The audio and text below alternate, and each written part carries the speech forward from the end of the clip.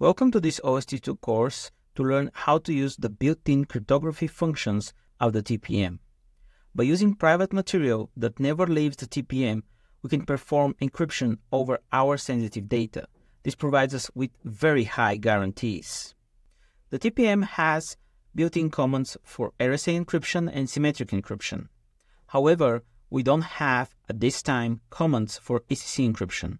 We can receive support for ECC encryption TPM commands with a firmware update in the future. To perform symmetric encryption, we would need naturally a TPM key of symmetric type, usually 128-bit AES. Remember that symmetric algorithms are regulated and there are export restrictions. To check the capabilities of the TPM you have, we have a separate lecture. We can see what algorithms and commands are supported. Your TPM could support 192-bit or 256-bit AES or a different symmetric algorithm.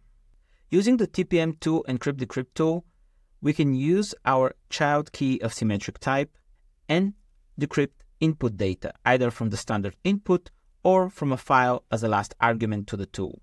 The output is stored by a file pointed to us using the dash O switch. Using the same tool and just adding the dash D switch, we're instructing the TPM to decrypt our data.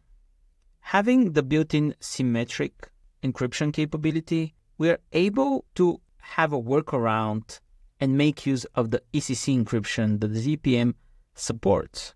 We create a primary key of ECC type and then generate a child key that is going to be wrapped in this primary key. This is not the same thing as using native ECC encryption over our data, but it has become something of an industry practice.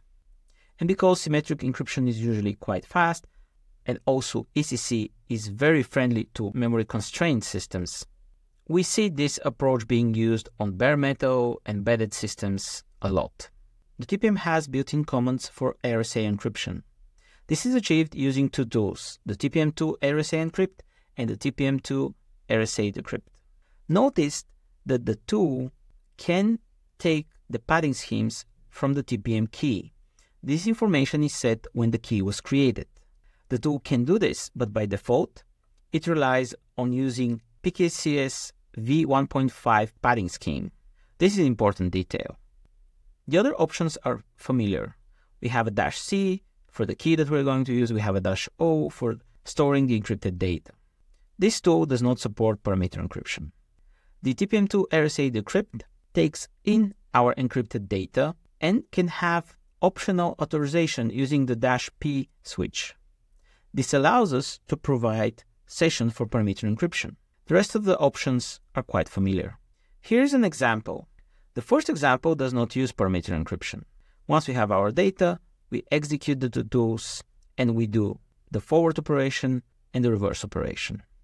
The second example starts a HMAC session for parameter encryption and feeds it to the TPM2 RSA decrypt tool.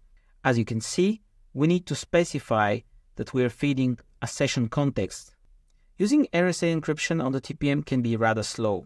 This is why I would recommend using an ECC primary key and the symmetric encryption we saw earlier.